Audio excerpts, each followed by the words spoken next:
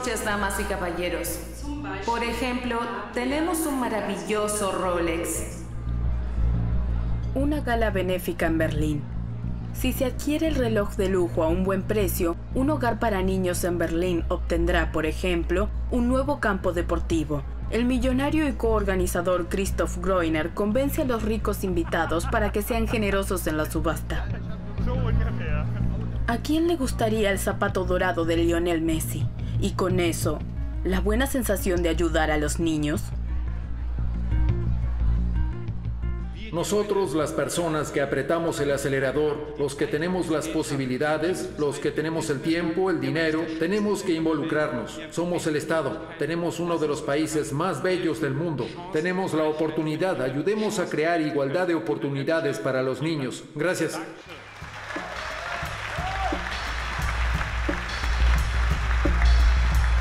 Christoph Groiner permitió que se lo filme durante seis meses.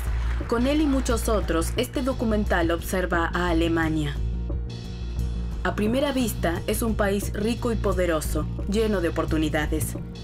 Sin embargo, si se mira de cerca, en casi ningún otro país industrializado, la riqueza está distribuida de manera tan desigual. El éxito a menudo depende del origen. ¿Por qué esto es así? ¿Amenazan las grandes diferencias la cohesión? Para encontrar respuestas, este equipo recorre todo el mundo. Desde un ganador del premio Nobel hasta los mejores en su campo, investigan la desigualdad.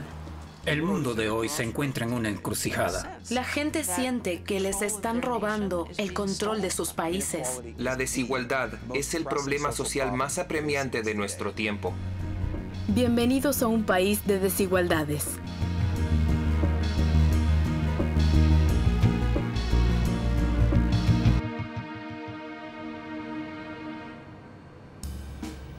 El empresario Christoph Groiner cada vez es más rico. Si tienes 250 millones y por así decir los arrojas por la ventana, entrarán por la puerta. No puedes perderlos. Si compras autos obtienen un valor agregado. Si compras casas tendrán más valor. No puedes perder el dinero por el consumo. Él gana su dinero con bienes raíces. Según la compañía, solo en Leipzig construye uno de cada tres apartamentos nuevos. Todo lo que ve a izquierda y derecha fue construido o renovado por nosotros. Alcanzó su éxito con mucho esfuerzo. Si tengo una hernia de disco, vengo a trabajar. Si tengo 40 grados de fiebre, vengo a trabajar. Si tengo problemas con mi esposa y no puedo dormir a la noche, vengo a trabajar. ¿Se transfiere automáticamente su éxito a sus hijos?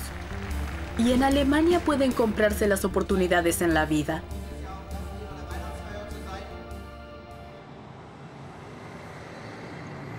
Berlín, 6 de la mañana.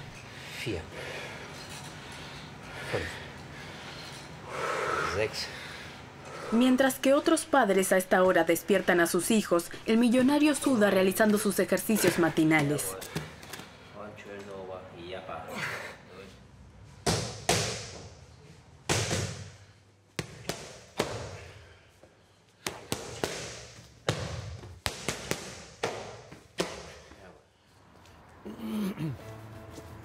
Su vida cotidiana está estrictamente cronometrada. El tiempo es dinero y puede aumentarse en todas partes, también en el auto. Así que el asiento trasero se convierte en oficina.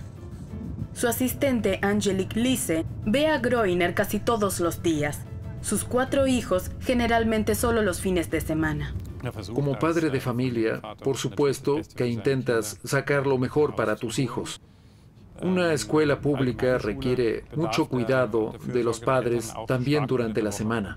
Y entonces, en la función en la que estoy, sencillamente fracasaría por completo.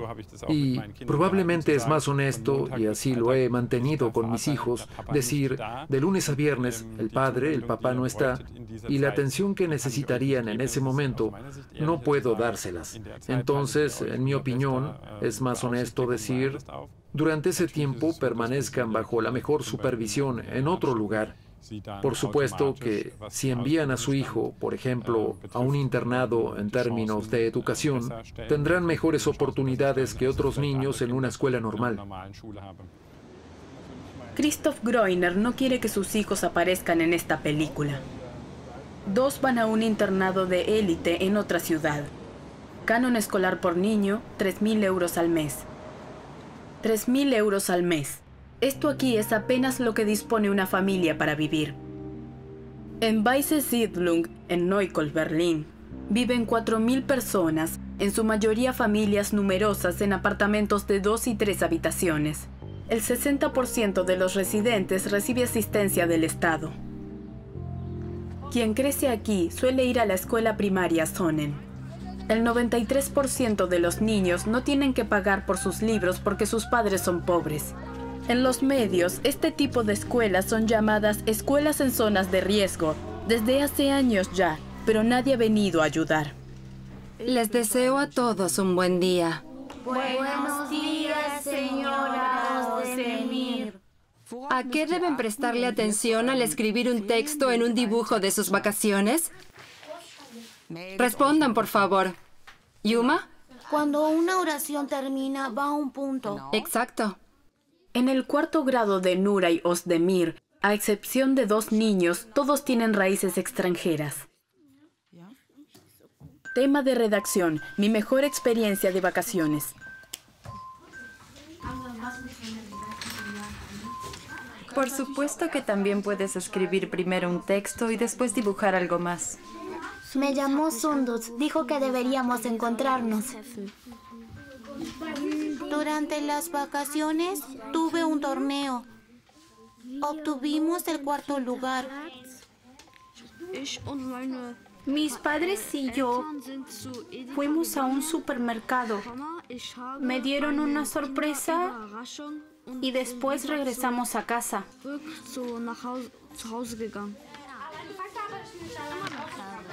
Se supone que era mi desayuno, pero bien, les daré algo también. Stephanie Freitag es educadora. Debe ayudar con las tareas, resolver conflictos y organizar excursiones. Y si un maestro se enferma durante mucho tiempo y aquí no tenemos personal, entonces, por supuesto que me apena si los niños no tienen clases, no aprenden nada. Y lo digo de esta manera, hasta el quinto grado lo consigo. Hacemos algo lindo, ¿verdad? Lo que más nos gusta es lengua, ¿verdad? Bueno, es lo que a mí más me gusta. Los que hablan poco alemán en su casa necesitan más apoyo. Actualmente faltan por cubrir cuatro plazas de maestro. Quiero ser ingeniero en construcción para ganar mucho dinero y porque mi papá trabaja en eso y para eso hay que ser bueno en matemáticas. Quiero graduarme en el bachillerato y trabajar en alguna fábrica de automóviles. Quiero ir a la universidad. Quiero ser doctora. Me gusta ayudar a la gente. Uno de cada cuatro niños aquí logra ir al bachillerato. En el resto de Berlín prácticamente el doble. Así que ya tienen sus grandes sueños y metas. Es posible que no siempre sepan cómo alcanzarlos, porque de alguna manera no conocen los caminos o en parte les son bloqueados. A la directora Carolina Pocomocuri le gustaría contratar a más maestros. Sin embargo, tiene poco más dinero a disposición que una escuela donde todos los niños hablan alemán y nadie es pobre. Si comenzáramos a ver lo que necesitan los niños y entonces contratáramos a las personas que pueden procurarlo, sería completamente diferente. Y a esta falta, por supuesto, también hay que sumarle que quienes viven aquí también deben ahorrar. Y cuando vemos lo que a los niños les falta, ya sea más ejercicio o una dieta saludable o material de trabajo decente, esto cuesta mucho dinero. Y son tantos los factores que determinan el día a día que no pueden describirse solo con palabras. Y también conozco a algunos que sencillamente no envían a sus hijos a esta escuela y se unen a otros padres y van con sus hijos a una escuela más lejos. O se unen e incluso exigen a las escuelas que abran clases separadas para sus hijos. Es decir, para mí todo eso es segregación social. Segregación social significa la separación espacial de ricos y pobres. ¿Qué sucederá si los de arriba y los de abajo continúan separándose? Economistas y sociólogos de todo el mundo están investigando esta cuestión. Estudian las consecuencias de la desigualdad. En Berlín lo hace el investigador educativo Marcel Helbig. En un estudio reciente descubrió que los pobres y los ricos de Alemania se alejan cada vez más entre sí. Apenas se encuentran. En nuestro estudio observamos 73 ciudades, principalmente con respecto a la segregación social, y llegamos a la conclusión de que la segregación en realidad aumentó en todas a excepción de seis o siete ciudades. Berlín como ejemplo. El norte de Neukölln y Kreuzberg son áreas en donde están disminuyendo el desempleo y la pobreza infantil. En contraste con Weisse Siedlung, aquí casi dos tercios de las personas reciben asistencia del Estado. En la cuenca del Ruhr, la ruta A40 divide la ciudad de Essen. Al norte de la autopista, el 17% de los adultos recibe Hartz IV, que es un plan de ayuda social. Al sur solo el 7%. Observamos que en muchas ciudades de Alemania con el tiempo hay concentraciones donde en ciertos vecindarios el 70 u 80% de los niños viven del Hartz IV, lo que a su vez significa para las escuelas una concentración de estos problemas sociales, que por supuesto también lo acompaña. El sistema educativo tiene que luchar todos los días. No solo los pobres y los ricos se encuentran cada vez menos. Incluso los niños con y sin antecedentes de migración van cada vez más separados a la escuela. Un experimento, dos escuelas de Essen. Una escuela primaria del sur de Essen, más rico, con camisetas naranjas. Una escuela primaria del norte de Essen, más bien pobre, con camisetas azules. Los niños deben hacerse una sola pregunta. Los estudiantes del norte de Essen preguntan. ¿Eres extranjero?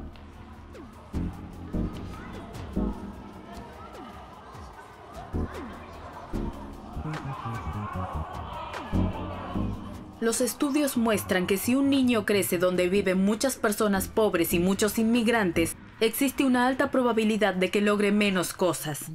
Podemos decir muy bien qué niños tendrán qué posibilidades. Podemos calcular probabilidades. Y si tuviese un trabajador social o una buena maestra, sabría exactamente dónde enviarla. Especialmente en niños que se mudan a un mejor vecindario, por ejemplo, por el programa de vivienda social, se observa que logran mucho más en la vida que los niños que no tuvieron esta oportunidad. Esto nos muestra que no puede tratarse solo de habilidades determinadas genéticamente. En Alemania existe un ideal. La educación no debe depender del dinero de los padres. El Estado utiliza el dinero de los contribuyentes para garantizar que todos los niños vayan a buenos jardines de infantes y buenas escuelas.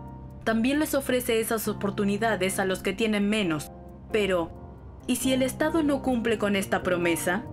El millonario y padre de familia Christoph Groiner se siente obligado.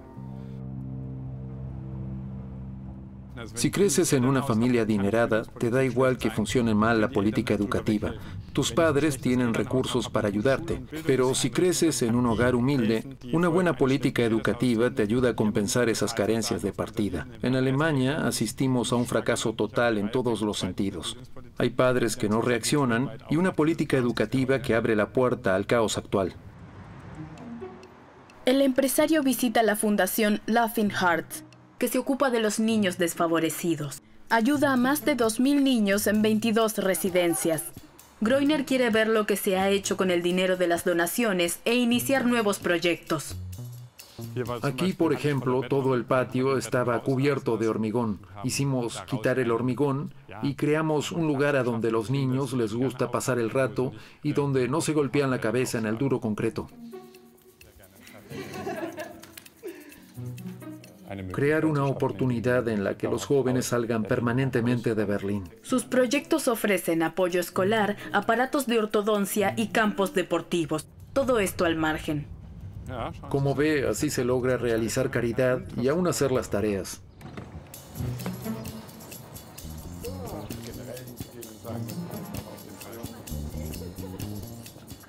Aquí se construirá un pequeño anfiteatro. Esto para mí es un verdadero sueño que se hace realidad. A veces también me gustaría sentarme en el piso y jugar un poco. En el trabajo que tengo hay que tener cuidado de no estar solo sentado y jugar. Usted es nuestra verdadera heroína. Es muy amable. Lamento no haber podido maquillarme. Aún sin maquillaje se ve genial. ¿Dónde se realiza el mejor uso de los recursos financieros, de tiempo y los mayores beneficios? En un niño. A un anciano pobre ya no se lo puede salvar. Pueden mitigarse las condiciones en las que vive, pero en el caso de jóvenes o niños, todavía se puede marcar el rumbo. Groiner patrocinó el terreno para este campo deportivo por 100.000 euros. Muchos de estos niños están bajo la tutela de la Oficina de Bienestar Juvenil. No pueden ser filmados. ¿Y les gusta jugar aquí? ¿Funciona esto? ¿Sí? ¿Es divertido? Como agradecimiento, las niñas del hogar han ensayado un baile.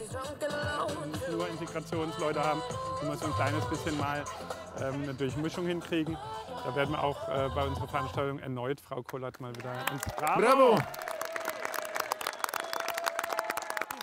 ¿Podrían volver a guardar silencio por un momento? Queremos dar a conocer una información importante.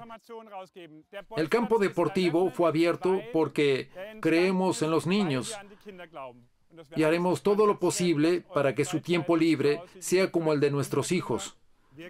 Creemos en ustedes y siempre estaremos ahí para hacer estas cosas. ¿Ok? Bien, creemos en ustedes. Y yo creo en usted. Confiamos en ustedes.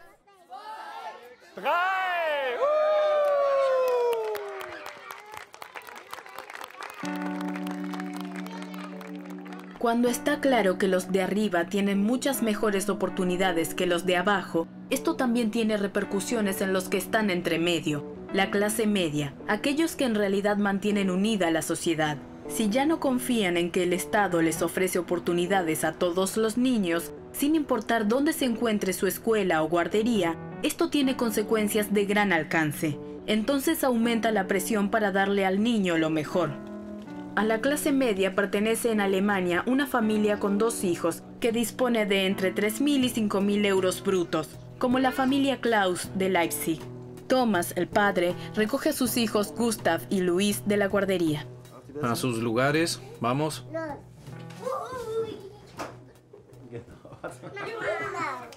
El gran tema del momento, la escuela a la que debe ir Gustav. Nos gustaría acompañarlos a usted y a su hijo en la fase preescolar. En el periodo del 15 de diciembre al 9 de febrero, le ofrecemos a su hijo una clase semanal de preescolar en su hogar. Entonces ya podemos ir a la escuela, a la escuela de verdad. Es genial, ¿no? Yo también quiero ir. ¿Tú también quieres venir? Aquí dice solo su hijo. Bueno, tú también eres nuestra hija. El que los niños puedan crecer tan protegidos, la familia puede agradecérselo principalmente al trabajo de Thomas. Este ingeniero trabaja a solo cinco minutos en bicicleta de su casa. El trabajo les asegura la vida y un apartamento en una buena ubicación. Sin embargo, desde hace algunos meses está claro, la compañía quiere ahorrar, sedes enteras están en peligro, posiblemente también esta fábrica. Entonces estamos todos allí. Todos pensábamos que éramos parte de una gran empresa y entonces un abogado nos dice que en realidad no lo somos. Así que veo un gran riesgo para nosotros de quedarnos con las manos vacías. Estaremos perdidos. Si somos arrancados de allí sin poder evitarlo nosotros mismos, será una completa derrota aquí en Leipzig.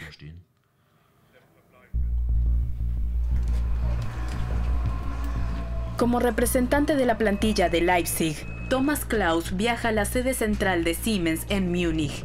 Allí, los gerentes quieren comunicarles sus planes de ahorro. Se acaban los rumores, vienen los hechos. Tengo dos hijos y también tengo planes para el futuro. Y estos se basan mayormente en mi futuro con un buen trabajo y aquí en Siemens. Y ahora todo eso está en duda. Todo es inestable. Ya no sé si tendré ese futuro. Es un poco como dirigirse al matadero, es muy triste.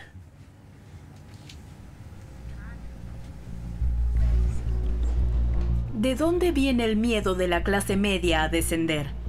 Durante mucho tiempo era claro para la clase media alemana que su prosperidad aumentaba. Sin embargo, eso está cambiando. Y esto está relacionado con una evolución global.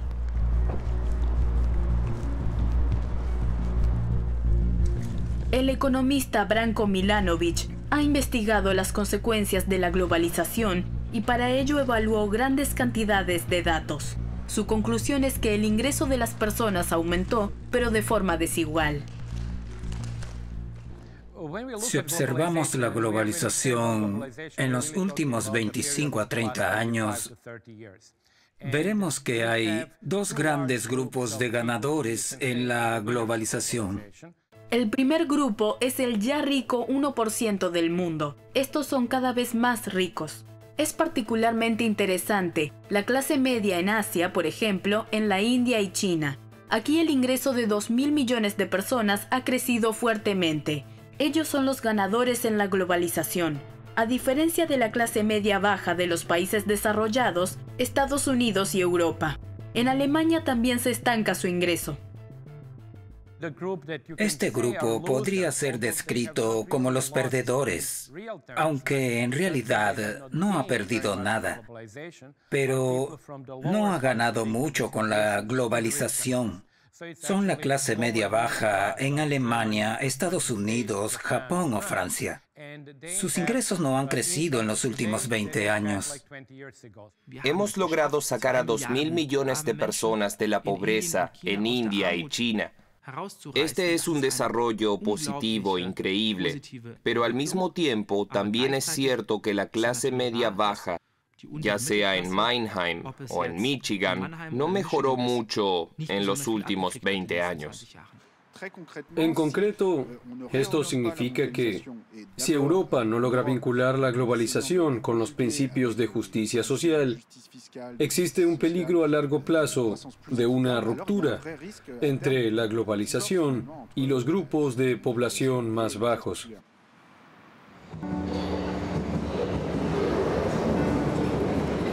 En Múnich, ahora Thomas Klaus tiene la certeza, la planta será cerrada. Si la administración se impone, entonces también se trasladarán a donde puedan producirse piezas a menor costo.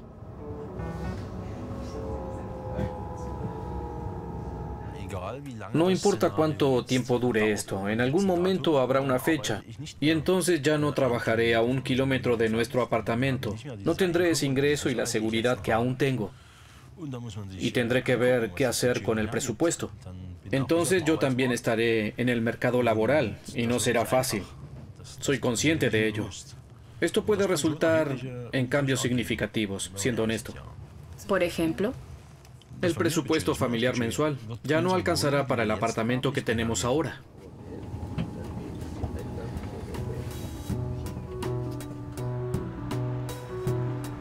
Porque el mercado de la vivienda en Leipzig está reñido. Como en todas las regiones metropolitanas alemanas, las personas aquí también se están mudando al centro de la ciudad.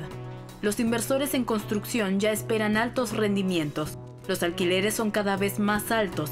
En los últimos cinco años han aumentado un 25%. Apartamentos asequibles de tres o cuatro habitaciones son escasos. En el caso de una mudanza, la familia de Thomas Klaus probablemente se mudaría a las afueras de la ciudad, donde es más económico.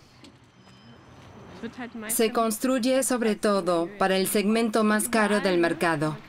Es como en todas partes, ¿verdad? Conocemos la situación en las grandes ciudades y creo que estamos en una espiral exactamente hacia allí. Por supuesto que algo así sería atractivo, pero creo que en la situación actual no debemos pensar en ello. El gran empresario Christoph Groiner también aquí construye apartamentos para alquilar. Según él, asequibles. De dos habitaciones por 700 euros de alquiler sin costes adicionales. Unos 12 euros por metro cuadrado. Seguramente no es el más costoso y tampoco es el más lujoso, pero tiene expresión, estilo, es de calidad, tiene sentido, tiene un alma. Estoy muy orgulloso de él, porque yo mismo querría vivir aquí. Queremos convertirnos en la Volkswagen de la industria de bienes raíces. Para eso tenemos que apresurarnos. Christoph Groiner también impresiona a sus hijos con su éxito. En la escuela preguntan por él. En algún momento los compañeros le dicen, dime Brenner, ¿eso del grupo CG es de ustedes? Y pasan por el auto frente al jardín y miran. Entonces googlean grupo CG y dicen, ¿sabes lo que está haciendo tu padre? De pronto llega mi hijo a casa y dice, papá, ¿hacemos todo eso? Es una situación en la que sientes un poco de alegría cuando las personas se interesan. Es una mezcla de orgullo, respeto y un poco de melancolía, porque también sé que el tiempo que empleo en tanto trabajo a veces es a costa de la familia.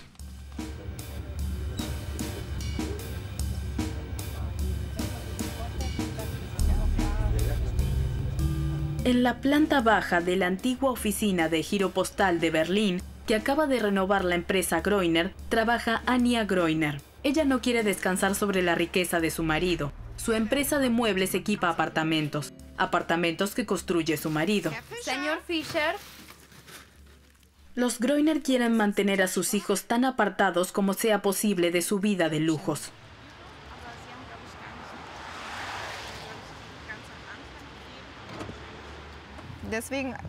Por eso decidimos llevarlos a un internado, porque allí están entre sus iguales y no se enteran todos los días lo que sucede en casa. No tienen que ver a qué eventos vamos, cómo vamos, ni cómo nos vemos vestidos cuando vamos a un baile o a una fiesta. En el internado hay reglas y allí todos los niños son iguales. Aquí en Berlín, no todos los niños son iguales. Hay niños que tienen padres ricos, niños que tienen padres pobres. Y entonces hay mucha tensión entre ellos, por lo que unos tienen y los otros no tienen. También una vez recogí a mi hija de la clase de confirmación y de pronto se escondió en el espacio para los pies del auto. Entonces le pregunté, ¿qué haces? Y ella me dijo, los niños no debían ver que estaba en ese auto. Son varios problemas con los que tienen que lidiar. Hay situaciones en las que lo tienen más fácil, pero también hay muchas por las que tienen que pasar. Porque el papá no está presente tan a menudo.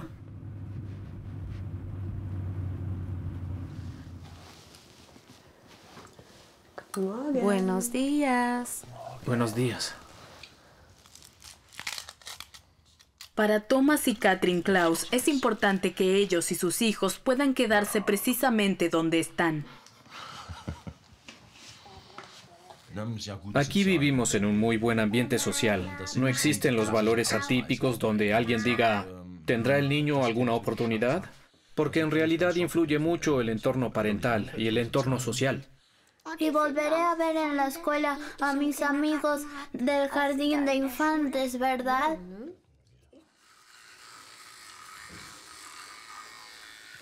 También se da cuenta de que sus amigos van con él y sabe dónde está la escuela. Y ya piensa en quién irá a su clase. Y tenemos que hacer todo lo posible para mantenerlo en este entorno.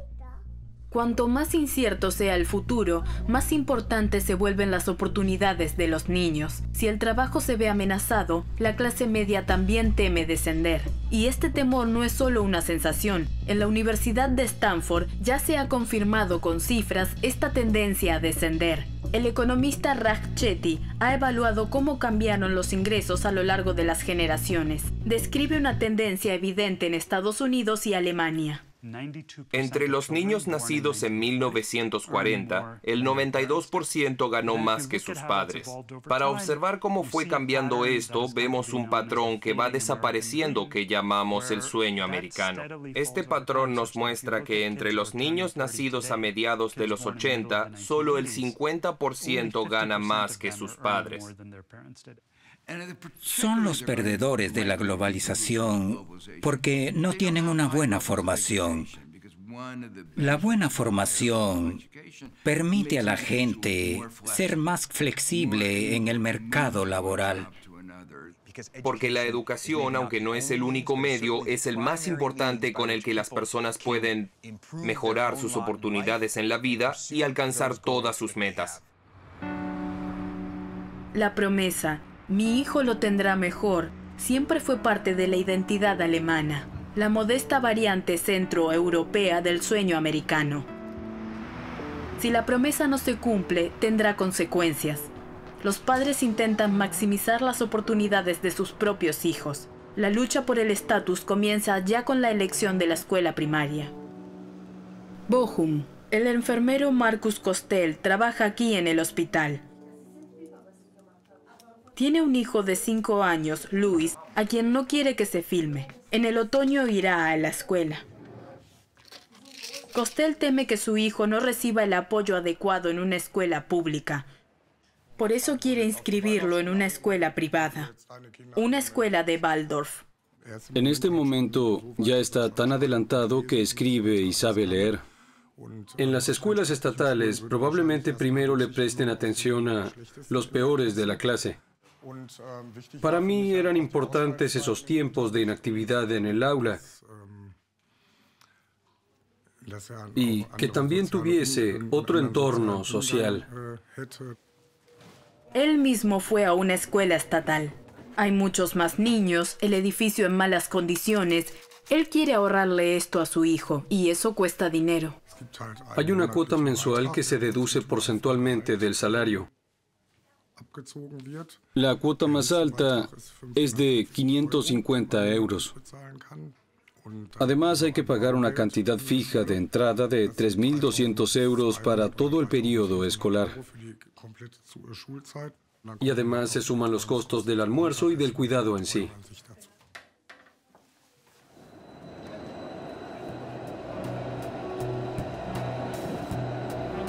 Distrito de Wattenscheid, Bochum. Aquí más de uno de cada cinco habitantes tiene origen inmigrante. Wattenscheid registra la tasa de desempleo más alta de la ciudad. En el medio, la escuela Schule. Marcus Costel inscribió aquí a su hijo. Las escuelas Waldorf son escuelas privadas, y como la mayoría de los colegios privados, confesionales o no, son subvencionados por la administración para que cualquier niño pueda estudiar en ellas. Esa es la teoría. Kerstin Fricke es maestra. Guía a padres interesados por el campus.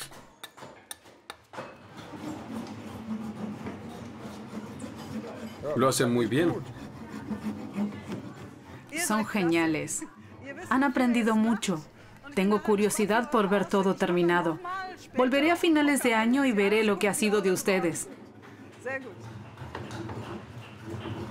Aquí hay un maestro cada 10 niños. Solo hay 34 estudiantes por año y en la escuela pública vecina son el doble. La mayoría de las veces los niños aprenden divididos en dos clases. Estupendo, Vela. Ahora puedes comenzar con la lima.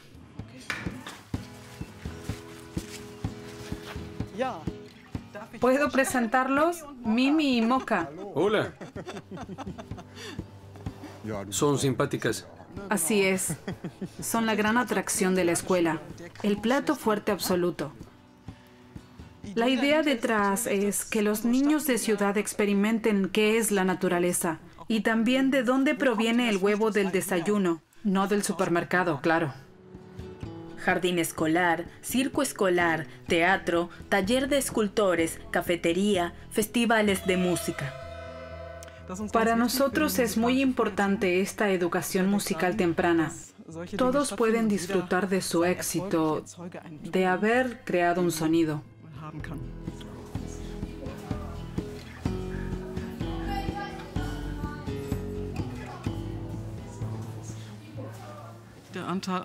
La proporción de niños con antecedentes migratorios aquí es relativamente baja. Esto es algo que no nos parece nada bien, pero evidentemente se debe a la preocupación de que es una escuela privada y no todos pueden pagarla. Tenemos dos grupos que asisten. Uno es una gran familia turca. Se ve que es un clan que siguió ramificándose y vienen los primos de los primos de los primos que han venido aquí antes. Es decir, se promocionó de boca en boca. El segundo grupo son niños que tienen uno de sus padres africanos. Estas son, en realidad, las dos áreas de las que provienen nuestros niños con antecedentes de migración. Pero hay dos por cada clase, quizá tres, no más todavía. Dos clases de escuela escogidas al azar. Por un lado, una escuela Waldorf de Herne, con camisetas de color púrpura, y una escuela integral de Calc, Colonia, de blanco. La pregunta para todos, ¿hablan otro idioma en casa que no sea alemán?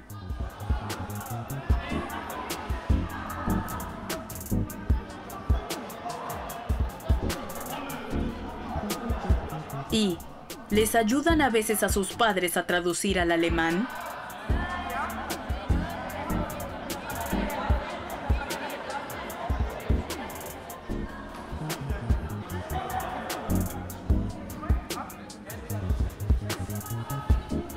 La segregación se está intensificando. En los últimos años aumentaron significativamente el número de escuelas privadas, tanto las primarias como las demás. En los últimos 20 años, el número total de estudiantes de instituciones privadas aumentaron un 30%. En las escuelas primarias, el aumento fue extremo. En este caso, el número de escuelas privadas se cuadruplicó. Y esto se debe, por un lado, a padres que pagan y no actúan contra eso. Por otro lado, hay escuelas que necesitan o creen necesitar más fondos escolares para lograr una buena educación. Y además, y este es el hecho más importante en general, hay una administración que no lo controla ni lo quiere controlar. En promedio, el Estado cubre dos tercios de los costos de las escuelas privadas. El resto es pagado en su mayor parte por los padres. Esto le ahorra dinero a la administración pública. Se trata de alrededor de 2.400 millones de euros al año. Dado que estas escuelas privadas reemplazan a las estatales, el Estado tendría que controlar que no pidan demasiado dinero. Así dice la Constitución, solo podrían existir las escuelas privadas si todos pudiesen pagarlas. Lo que ocurre actualmente no es compatible con la Constitución y el principal problema es que sobre todo los estados federales que deberían controlar esto no hacen prácticamente nada para detener estas diferencias. Estas escuelas Waldorf como tales, así como otras privadas, también son buenas escuelas. Aquí tenemos un principio escolar que también es exitoso. ¿Por qué no se lleva este modo de enseñanza al sistema escolar público? Esa es la pregunta que me surge. El Estado debería asegurarse de que las buenas oportunidades para los niños no dependan del dinero de los padres. Por el momento eso no se logró. Y así otros asumen parte de la responsabilidad. La gala benéfica de la Fundación Laughing Hearts en Berlín. El millonario Christoph Groiner también es el anfitrión esta noche.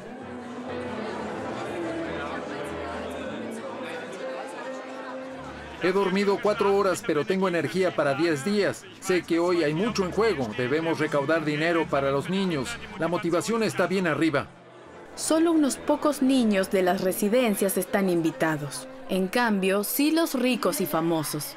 También ha venido la senadora de Berlín para la salud y la igualdad. Celebran, se divierten y debo decir que veo mucha gente hermosa y que además hacen algo bueno. Muchas gracias. Gracias a todos. A Dilek Kolat se la llama aquí la patrocinadora.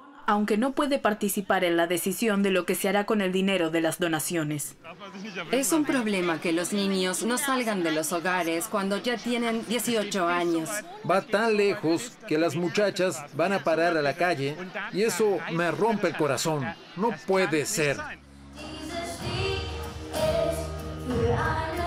En armonía con el tema, canta Pia Goluke, conocida de un programa de casting infantil.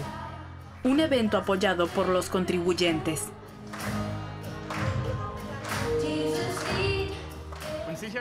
Nuestra empresa puede desgravar los costes del evento en su balance fiscal.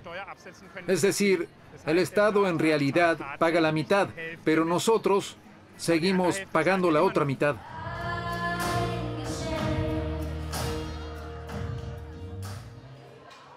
Desafortunadamente tengo que hacer un poco de Heidi Klum en Germany's Next Top Model. Muchacha, tenemos que hacer algo con tu atuendo. Ya que has cantado acerca de un regalo, también nos gustaría hacerte uno. Un vestido de noche para hoy. Oh, sí, felicidades. Salúdalo a él también.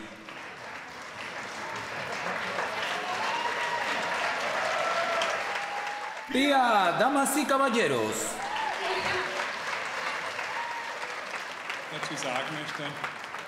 Estoy convencido de que es un error orientarse hacia los más lentos y débiles.